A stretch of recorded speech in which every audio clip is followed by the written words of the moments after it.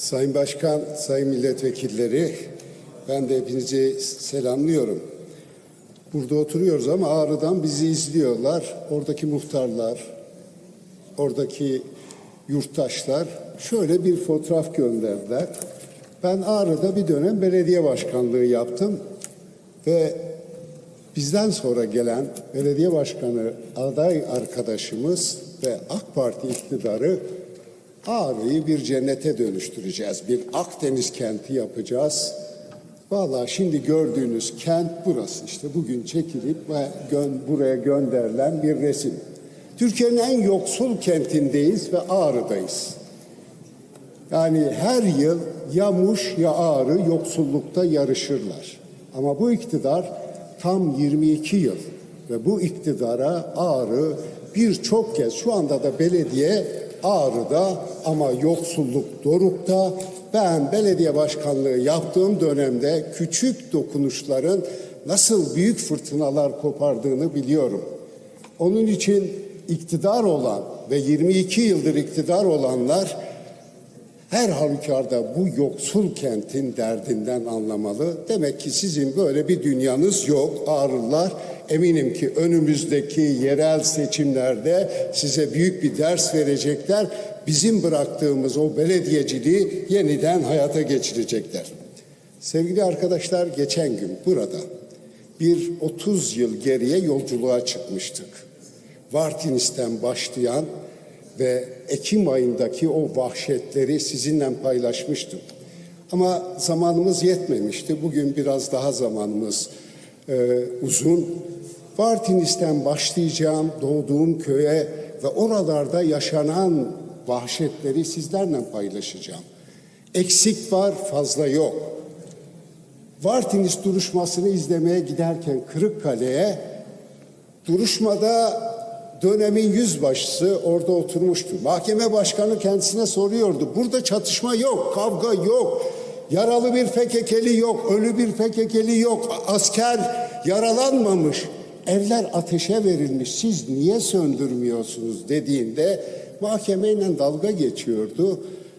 Bizim görevimiz ateşi söndürmek değil. Ben yerimden fırladım. Bunlar katil. Bunların görevi ateşi ateş yakmak ve ateşi harlamaktır. Bunların eli kanlı ama mahkemeyle bu kadar dalga geçen o yüzbaşı ne hikmetse tutuklanmadı.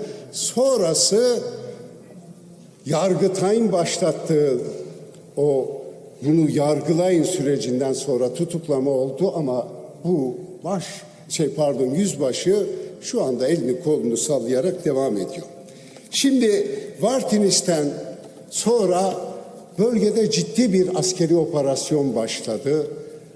Benim doğduğum köy Vartinis'ten ayrılıp Zengök'e doğru gidecektim ama büyük bir askeri konvoyun Zengök'e doğru gittiğini gördüm. Gece orada konaklıyordum.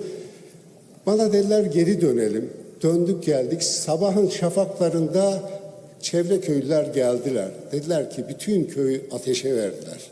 Hatta köye giderken önlerine kim geçmişse, yolda kimi bulmuşlarsa Murat'ın kenarında kurşuna dizmişler ve suya atmışlar. O gün bugündür hala birçok insanın cesedi bulunmadı. Ve gidenler üniformalıydı. O gün de söyledim. Gidip köyü yaktıklarında bakın benim beş tane yakın akrabamı yaktılar. Ve beşi de milli görüşten gelenlerdi. Baba 80 yaşındaydı. Oğlu devlet demir yollarında çalışıyordu. Bir oğlu siyasal bilgiler son sınıf öğrencisiydi. Ve kızı ve şoförü. Öldürülen üç kişi daha onlar da devlet demir yollarından emekli olmuşlardı. Ama ben tam 30 yıl önce bu kürsüden seslendirirken devletin refleksleri İçişleri Bakanı çıkıp burada aynen şunu şu cümleyi kurdu. Sırrı Sakık'ın köyünde çıkan çatışmada 8 terörist ölü ele geçti. Ve 8 terörist dediği ikisi 80 yaşında, üçü de devlet demir yollarından emekli olmuş ve bu insanlar bir oğlu da polis yani devletten bir sorunu olmayan insanlar. Ve orada öyle bir vahşet uygulandı ki insanlıktan ve sizden özür dileyerek işte böyle yaptılar biliyor musunuz? O aileyi bu şekilde yaktılar ve böylesi bir vahşet uygulandı. Buraya bakın bu vahşetler uygulandı. Bunlara söyleyecek bir sözünüz yok mu? Sonrası bu birlikler nereden geldi biliyor musunuz? Bu birlikler Bolu'dan ve Kayseri'den gelen komando birlikleriydi. Başlarında Yavuz Ertürk diye biri vardı. Katildi. Sonrası ne yaptı biliyor musunuz? Çekip Şen Yaylası'na gittiler. Bütün evleri ateşe verdiler. Şen Yaylası'nda 11 Ee, insan bu önergeyle aldılar gözaltına. izliyor 11 ve insan konuşmaları- orada katledildi. Sizin milletvekilinizin seslendirdiği, Sezgin Tanrıkulu'nun seslendirdiği olay oydu. Ahim'in kararları vardı. Ve bir, sadece bir bölge değil, Diyarbakır'dan Kulp'tan, Lice'den Bingöl'e kadar bütün insanlar bunları gördüler. Ne olduğunu ve sonrası yargılandılar. Ne oldu? Çünkü Kürtlere karşı işlenen suçlarda ya beraat edersiniz ya da zaman aşımına uğrarsınız. Size bir başka bir şey anlatacağım. Milli Selamet Partisi'nin, Milli Nizam Partisi'nin ve hatta Refah Partisi'nin bölgede önemli bir kanat önderi vardı. Mehmet Emin Bingöl. Sayın Erbakan'ın da çok sevdiği, önünde saygıyla eğildiği biriydi. Onu evinden aldılar. Ve benim üç yakınımla birlikte götürdüler alaya. Alaydan gece alıp bunları götürdüler. İşkence ettiler. Bir muş bunu biliyordu. Sonra köprünün altında infaz edildi. O tarihte de bunları alıp taşıdım. Rahmetli Erbakan eski sistem şurada oturuyordu. Oradaki bütün arkadaşlar kimi ağlıyordu, kimi yüzüme bakamıyordu. Ama bu katiller hepsi aklandı. Ben kulis tarafına geçince o dönemin milli görüşün temsilcileri gelip tek tek kucakladılar. Evet böylesi bir vahşet oldu. Şimdi Ekim ayında böylesi büyük bir vahşetin yaşandığına hep birlikte tanıklık ettik. Ama hep zaman aşımı, hep katiller yargılanıyor ve aklanıyorlar. Bu parlamento bir şey yapamaz mı Allah aşkına? Allah aşkına size sesleniyorum. Ey iyi Partililer, ey MHP'liler. O gün bir meclis araştırma önergesi verdik. Siz konuşmadınız bile. Ya bir laf edin Allah aşkına. Deyin ki siz haksızsınız. Haksızlığımızı kabul edelim. Veya çıkın deyin evet bunlar katil. Bakın o zaman bu topraklarda barışı inşa edebiliriz. Bizim bu topraklarda hakkımız var, hukukumuz var. Birlikte bu coğrafyayı inşa etmişsek bizim dilimize, kimliğimize, kültürümüze saygı duyacaksınız. Onu hayata geçireceksiniz. Bakın bugün Saadet Partisi burada haksızlığa uğradı. Ötekilerin ruhunu anlayabilmek için muhakkak haksızlığa uğramak mı gerekiyor? Ben abartı bir şey söylemiyorum. Ben kimseden bir merhamet de beklemiyorum. Ama bu parlamento eğer halkın iradesiysek bunların gereğini yapmalıyız. İnsanlığa karşı işlenen suçlarda zaman aşımı olmaz. Bu zaman aşımına sığınarak katilleri bu parlamento aklayamaz. Aklarsanız çocuklarınıza karşı büyük günahlar işlersiniz. Bakın benim söylediklerim. Diyarbakır milletvekilleri arkadaşlarımız burada. Suna Kepoğlu var. Bu olayı çok iyi bilir. Galip Ensarioğlu var. Bu Şen Yaylası'ndaki olayı çok iyi bilir. Onlar da benim akrabam. 11 kişi. Mehmet Salih Akdeniz bir kanat önderidir. Bölgede çok sevilir, çok da iyi bilinir. Hatta sizin milletvekiliniz Sait Yavuz, o da benim akrabam. Ve o ölen, öldürülen 11 kişinin yakın akrabasıdır. Mehmet Salih, Salim Ensarioğlu İyi Parti milletvekili ve o dönemin bakanıdır. Vallaha billaha da benim bu söylediklerimi o da çıkar burada birebir anlatır. Onun için benim bu söylediklerimi Sayın Sakık lütfen sözlerimizi tamamlayalım. Tanıklık ettim. Ben bu sorunun çözülmesini istiyorum. Biz zaten bunun için buralar, buradayız. Bunu çözebiliriz. Bizim acılarımız var. Yüz yıllık cumhuriyet bizi yok saydı, reddetti. Şimdi yeni bir cumhuriyeti birlikte inşa edebiliriz. Ben seçimler öncesi demokratik bir cumhuriyeti inşa edeceğiz dedim. Sayın Bahçeli nereye gittiyse aldı bu konuşmamı dolandı dolaştı dedi ki cumhuriyeti yıkacaklar. Hayır tam tersi demokratik bir cumhuriyeti inşa edelim. Hep birlikte içinde özgürce yaşayalım. Yani hep birlikte ortak bir vatanımızı birlikte inşa edelim diyorum. Yüce Kurulu saygıyla selamlıyorum. Teşekkür ediyorum. Sayın Bülbül buyurun. Teşekkür ederim Sayın Başkan. Ee, Hatip'in konuşması üzerine e, dün de tartışılan bir konuydu. Ee, Muş'ta yaşanan bir hadiseyle alakalı bir araştırma önergesi vermişlerdi. Bugün de onun devamı niteliğinde bir değerlendirme yaptılar. Tabii onun üzerinde de e, bazı ifadeler oldu ama hani Milliyetçi Hareket Partisi'ne yönelerek bir takım e, şeyler söylenince ben söz alma mecburiyeti hissettik. Yani çok fazla mecliste tüketilmiş tartışmalar olduğu için çok e, detaya girmek istemiyorum ama şunu en azından söyleyebilirim. Milliyetçi Hareket Partisi 85 milyonun partisidir. Biz 85 milyon eşittir herkes herkes eşittir Türk milletidir şiarıyla hareket ediyorsak orada bir mazlumun haksız yere bir vatandaşımızın dahi haksız yere nahak yere burnunun kanaması bizim içimizi acıtır bizim için o da en önemli sıkıntılardan en önemli meselelerimizden birisi olur her zaman. Bu noktada biz masum yere, haksız yere, kim kimin canına kıydıysa Allah belasını versin derim. Bunu net ifade ederim.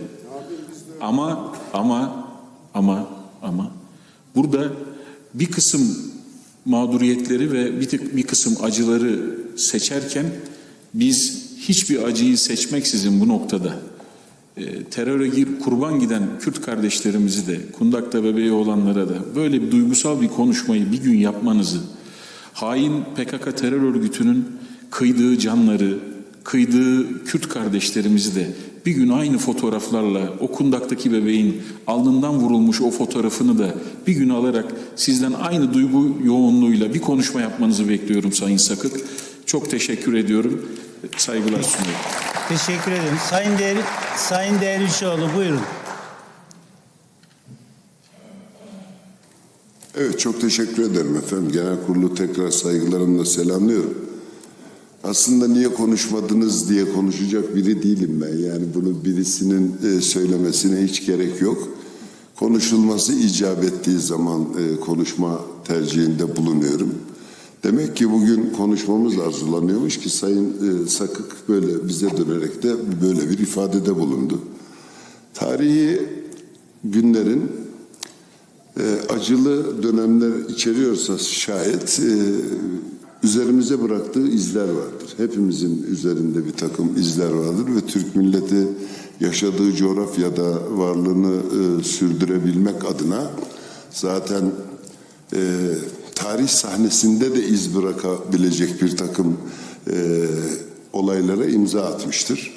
E, genellikle tarihimizde yaşanan e, olaylar da e, sorunların çözümüne yöneliktir. Ama ne hazindir ki e, bu ülkede e, telafisi her geçen gün e, zorlaşan e, bir e, bölücü terör hadisesi vardır. Bunun için hiç e, kimseyi itham etmek ya da ben böyle söylüyorum siz bu konuyla ilgili ne düşüyor, düşünüyorsunuz demek durumunda değilim. E, o bakımdan tarihin e, işte o acılı günleri içinde yaşanmış acılı olayların üzerinden yıllar geçtikten sonra bir e, istismara vesile olabilecek tarzda e, dile getirilmiş olmasını da şahsen yadırgıyorum. Şimdi burada bir türlü e, kınayamadığınız diyeceğim alınganlık sergileyeceksiniz. Onu bile demekten e, azami ölçüde kaçıyorum ama e, yaşanan bu olayların içerisinde bizim vicdanımızı kanatan Evet lütfen tamamlayalım. gözümüzden e, damla damla değil oluk oluk yaşların e, akmasına vesile olan birçok da olay yaşanmıştır.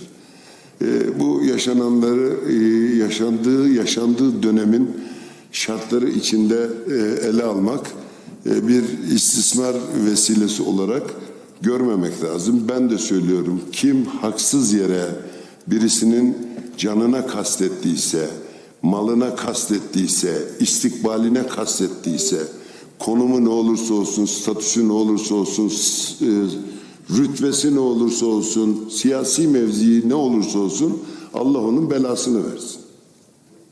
Ama bundan bundan yararlanarak e, bir dönemi e, aklamak bir kişinin ya da e, bazı kişilerin üzerinden bu büyük milleti ve onun bu coğrafyada kurduğu Lütfen, lütfen. Bu büyük devleti demokrasinin kalbi olan Cumhuriyetin kalbi olan Türkiye Büyük Millet Meclisi kürsüsünde töhmet altında bırakmaktan da uzak durmak lazım. Sorunlarımız varsa konuşalım. Sıkıntılarımız varsa konuşalım. Bahsettiğiniz konuyla ilgili dün önerge verildi. Ben dava dosyasına muttali değilim. Yani ben e, zaman aşımına bağlı olarak düşmüş, zaman aşımına bağlı olarak düşürülmüş bir sürü dosya var Türkiye'de. Yani hukukun içinde kalarak buna bakacağız. O, o şekilde değerlendireceğiz ama altına hassasiyetle çizdiğim şey şu. Bu kürsüye çıkılıp bazen konuşuluyor. İşte Alevilere bunu yapıyorsunuz, Kürtlere bunu yapıyorsunuz falan türünden e, umumu töhmet altında bırakacak beyanlarda bulunuluyor.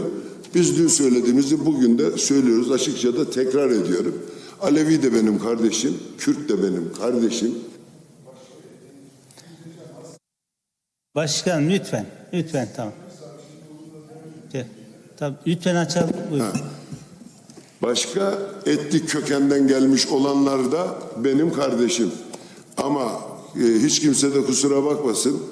Beni bu zenginliklerimden uzak tutan, beni kardeşlerimle düşman etmeye kalkışan, bunun için çeşitli figürlerden, enstrümanlardan, argümanlardan e, yararlanmaya kalkışanları da masum olarak görmüyorum.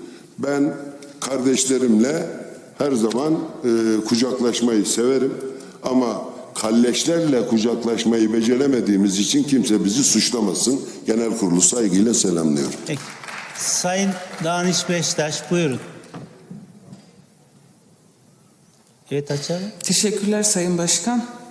Ya doğrusu bu konu Kürt meselesi adını koyalım. Kürtlerin eşit ve özgür yurttaş olmaması meselesi bu ülkedeki ayrımcılık bugünkü bir sorun değil. Yüzyıllık bir arka plana sahip. Bu parlamento çok konuştu. 21'den bugüne yani herhalde arşivlerde en fazla külliyatı olan meseledir. O yüzden bunu hani böyle birkaç dakikada çözecek değiliz. Ancak burada hatibimiz Sayın Sırrı Sakık aslında bir hakikati anlattı. Yaşadığı, tanık olduğu, ailesinden insanların nasıl vahşice, hunharca katledildiğini ve bunların davalarının zaman aşımına uğratıldığını çok sarih bir dille anlattı. Ve aslında sözlerinde hiç kimseye sataşma yoktu. Sadece bir söz vardı. Hani siz de böyle çıkıp konuşmadınız. Hani sataşma değildi zaten. Yani açıkçası burada bu meseleyi tartış kavga ile çözemeyiz. Kavga derken bunu çatışma diye anlayın, savaş diye anlayın. Bu mesele konuşmakla çözülür ve parlamento köken itibariyle de konuşmanın olduğu yerdir. Biz Yeşil Sol Parti olarak, geçmişte HDP olarak bu kürsüde hep şunu söyledik. Biz geçmişle yüzleşilmesini, hakikatlerin ortaya çıkarılmasını, demokratik bir anayasa tesisini ve Kürtlere yönelik ayrımcı yaklaşımların, mevzuatın düzeltilmesi gerektiğini çok daha geniş söylüyoruz da hep ifade eder geldik. Arkadaşlar konuştular Sayın Grup Başkan Vekilleri. Aslında konuşmalarının satır aralarında yine bir ayrımcılık vardı. Mesela dikkatimi çekti. Mağdur, e, mağduriyetleri seçmeyelim dediler. Kesinlikle katılıyorum. ama mağduriyet seçildi. Yine bir kıyas yapıldı. Zaten sorun bu yüzden çözülmüyor. Trabzon'daki anne, asker annesi Sayın Danış Bak ben sizi dinledim ama. Trabzon'daki asker annesiyle Hakkari'deki Kürt gencinin annesi duygularında empati yapabilirlerse, çocuklarının niçin öldüğünü karşılıklı anlatabilirlerse zaten bu meseleyi çözeriz. Sorun tam da orada. Biz neticede şunu söylüyoruz. Yani savaşla, çatışmayla, bu tip birbirimizi ilzam ederek, suçlayarak çözemeyiz. Ya farkındayız. Yani İyi Parti'yi asla suçlamak için söylemiyorum. Hangi önergeye konuşmacı verip vermeyeceklerini anlamayacak durumda mıyız yani? Bu kadar da değil yani. Deprem verdiğimizde konuşmacı veren parti Vartinis gibi bir katliam, bir ailenin yakılarak öldürülmesi meselesinde bir araştırma istiyoruz vermiyor. Ya da başka bir meselede tabii ki farkındayız. Siyasetlerinin de duruşlarının da her parti kendi siyasetini yürütüyor. Lütfen tamamlayalım Sayın Beşiktaş. Hareket Partisi zaten hiç vermiyor hani konuşmacı bir şey diyemem ona. Diğer partilerde de hep bir şey var biliyor musunuz? Böyle ne derler? Bir sınır var. Aman şu tarafta görünmeyelim. Aman Kürt'ten yana görülmeyelim. Aman ayrımcılığı söylemeyelim. Aman terörü siyasetine işte e, devam edelim. Ya genel olarak bunu söylüyorum. Bütün parlamento için. Bazen belki biz de bu konuda hata yapabiliriz. Bütün açık yürekliliğimize öz eleştiri vermeye hazırız.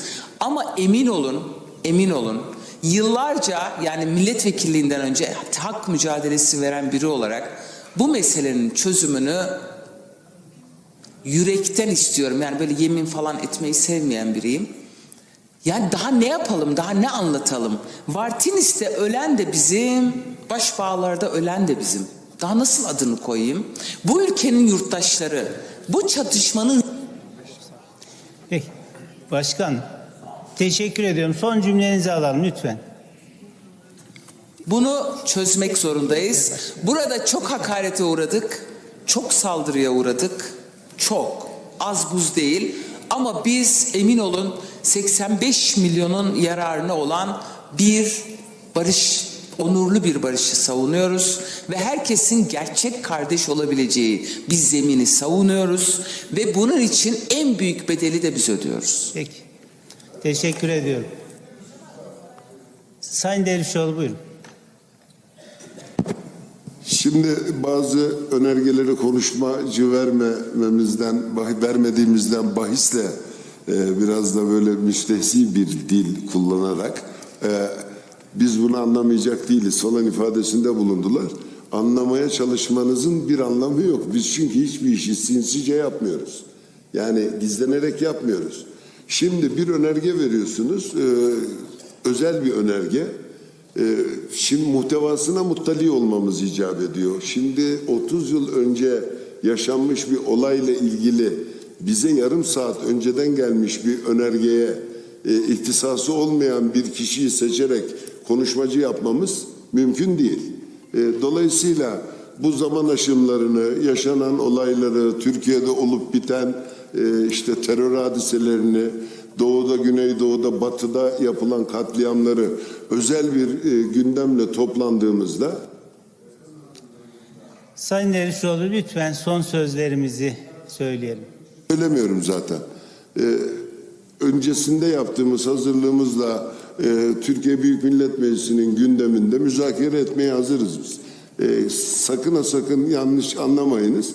Önergenizi seçmiyoruz. Yani bu niye böyle? Ama e, muttali olduğumuz, vukufiyetimiz yüksek alanlarda işinin ehli kişilere konuşturuyoruz biz onu. Peki. Ha şimdi o dünkü önergenin üzerine çalıştım.